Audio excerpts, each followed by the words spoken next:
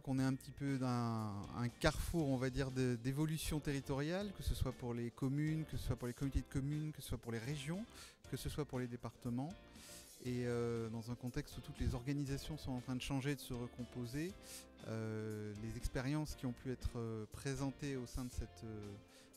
journée sont très intéressantes justement pour irriguer un peu nos propres expériences en termes d'innovation.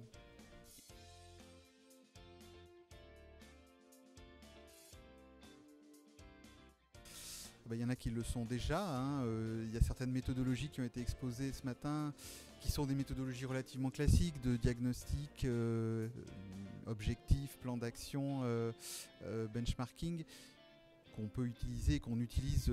plus ou moins régulièrement. Après, effectivement, toute l'originalité, c'est d'arriver à trouver des articulations un petit peu originales par rapport à ce qui existe, puis d'arriver à faire travailler aussi souvent des gens euh, qui ne travaillent pas ensemble sur des pans de politique par exemple séparés,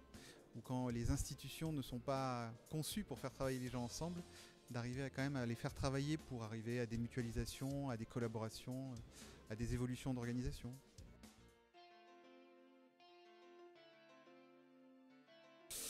Alors beaucoup de choses. Euh, j'ai trouvé euh, que les présentations étaient très diverses puisqu'on a quand même des intervenants euh, de qualité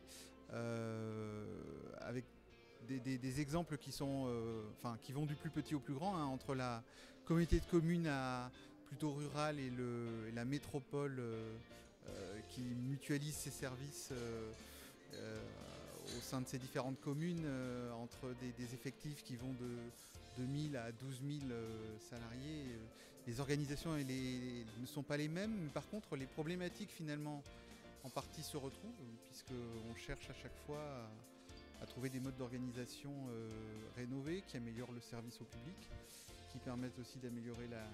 le travail des, gens qui, composent les, collectivités et puis d'améliorer l'efficacité des, missions qui sont confiées aux collectivités.